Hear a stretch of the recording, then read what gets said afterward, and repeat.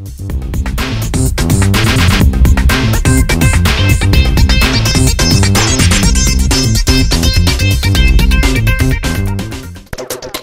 to this tutorial and today we're going to be making an Im image manipulation that will be similar to this one that I made uh, earlier today. And um, you're going to have to take your own pictures seeing as I don't have, um, I took my own pictures and I'm not going to be able to provide the links for you. You can try and find them on the web or you can just take them take them with the picture or take them with your own camera. Alright, so we're going to open up our first stock and um, it's just a picture of a bowl of full of milk and then some orange juice or something. And uh, we're gonna edit with GIMP this one. Okay, and now that that's open, we're gonna go edit, copy, edit, paste, and we can exit out of this. Alright, make this a new layer and scale it down. Check the chain if it isn't checked already and scale it down to about there and wait for it to scale. Okay, And we're gonna move me to right here except we're gonna scale me down a little bit more. It's kind of awkward talking about myself. okay, that's good. Alright, and we're gonna uh, zoom in, or actually first make a new layer above me. Zoom in. Use your free select tool and draw a line sort of like that. Just a squiggly line, just like it's a stain or something. And fill it in with black on the new layer. Select none, put the layer mode on overlay and give it a Gaussian blur of about 19 and click OK. Alright, so that's blurring. Alright, that's good. and it just gives the illusion that it's um that the water that the shirt is kind of wet. Alright, so we're gonna open up our next render or stock. And I already rendered these all out. So um that's why they're with this awesome, or they're transparent with the background. So we're going to go edit copy, edit paste, and we can exit out of this, and make it a new layer. And we're going to scale it down about like that. And press enter. I'll scale that down for you. And we're to move me Actually, I think we're gonna flip me to make, yeah, that makes me fit way better into the image. And when you're taking the pictures, try and make take a picture of yourself looking kind of mad, because that's the illusion you're aiming for. You're about to get eaten by some dude, presumably you, which is a little scary. I just need to scale me down a little bit more. Okay, that's good. And I'll go right there. Alright, and we'll open up our uh, final me. Edit with GIMP.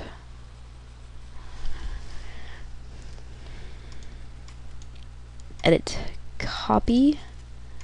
Edit paste. And make that a new layer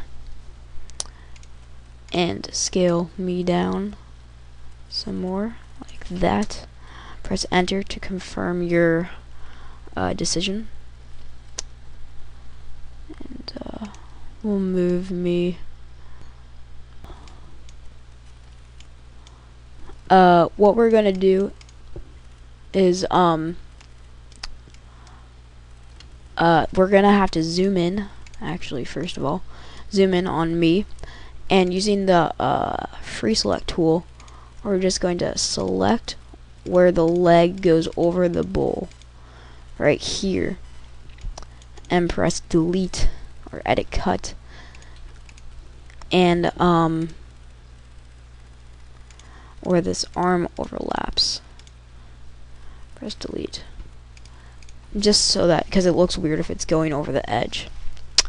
Alright, and uh, now what we're going to do is make a, we can actually bring this layer to the top, and we're going to make a new layer above this, and using the free select tool we're going to make the same uh, effect that we did before with the water.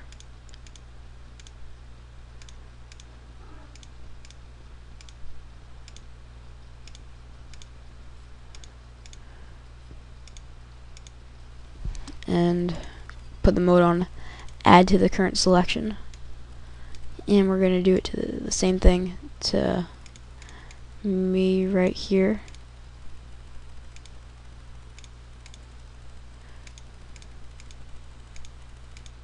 Alright and put the fill uh, bucket fill tool on fill whole selection and fill the whole selection and you can select none.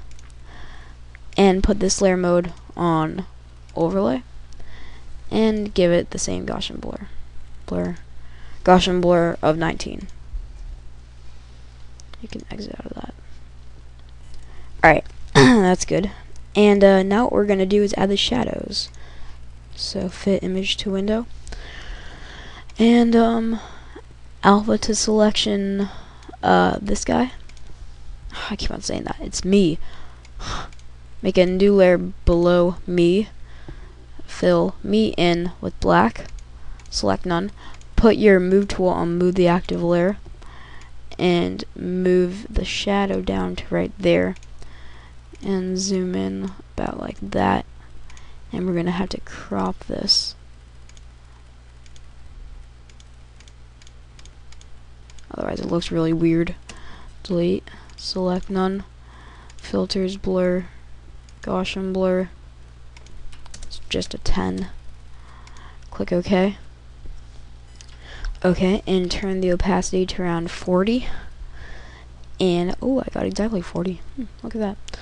And actually, we should delete where the water, I mean, where the milk comes, just like that, and delete that. Okay, select none. Okay, and we're going to do the same thing for this guy right me right here. Alpha to selection me. Make a new layer below it. Fill me in with black. Select none. And um, move me over like that. And actually, we don't need this part selected.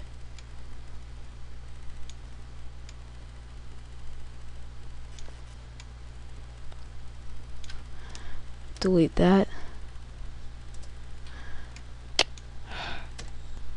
The heck? Alright. Oh my god. Alright. We're gonna make a new layer below me. Alpha to selection me. Uh, on the new layer, fill it in with black. Select none. Um, move me over to bat like right there. And then use your uh, rectangular select tool on subtract from current selection. Press enter, delete all this on the legs. I can select none. Delete, select none. And uh, we can use the free select tool to select like that.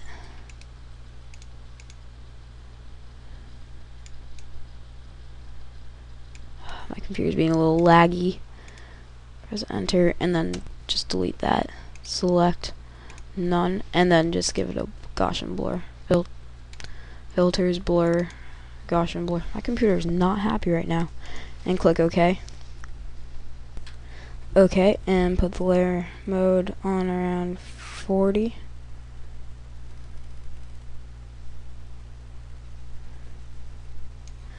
Got it again. Alright, and um, finally what we need to do is take me when I'm floating, duplicate me on this layer, put the opacity really low, and then just move me down and use the uh, eraser tool. And then just erase that with a fuzzy brush using a fuzzy brush. And just give me a bl Gaussian blur of 10 click OK. View the image to window. And we only need to add one more stock and we're done.